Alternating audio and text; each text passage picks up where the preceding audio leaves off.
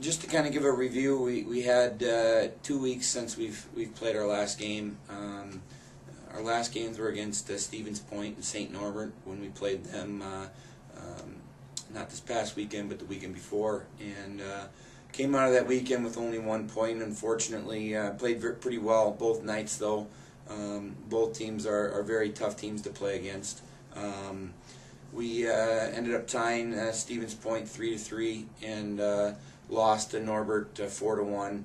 Um, took St. Norbert right down. We were tied one one uh, with about six minutes left in that game, and then they scored a couple quick goals to uh, you know take advantage and, and win that hockey game. So, um, but pretty good performance all around by our team uh, that weekend.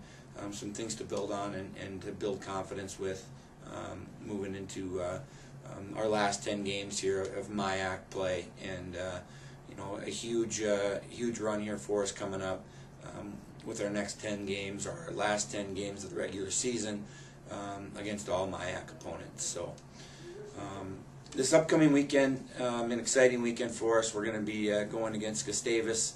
Um, it seems like it's been a long time since we've played a MIAC opponent, but um, you know, we're looking forward to getting back into our league play. Uh, we play uh, Gustavus down in Gustavus uh, on Friday night, and then we are going to play actually an interesting game uh, on Sunday morning, 10 a.m. Uh, game time at the Xcel Energy Center in conjunction with the uh, Minnesota Wild Skills competition. So, um, you know, Gustavus is always a pretty tough opponent. Obviously, last year, having gone to the national tournament, actually getting down to the final four teams in the nation, um, and really not losing a whole lot of that team that they had last year. Um, they haven't come out of the gates uh, on fire, but uh, they had a huge weekend against Augsburg last weekend, um, winning both games, sweeping Augsburg, um, a team that kind of got advantage of us uh, earlier this season by uh, by winning both games against us. So um, it's going to be a very big test for us. We're excited about the opportunity.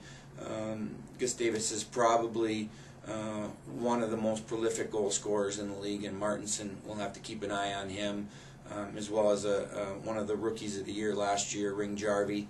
Um, they're in a line together, and they're going to be very dangerous. So, um, and then besides that, one of the better goalies in the league in Swartout. So, um, you know, again, this is going to be a, a, good test for us to see where we're at going into the rest of the season. Um, you know, we, we need to we need to win seven out of ten of our last ten uh, MIAC games here to to make a good run here for playoffs. Unfortunately, we put ourselves in a little bit of a hole um, uh, with our, our first half of the season.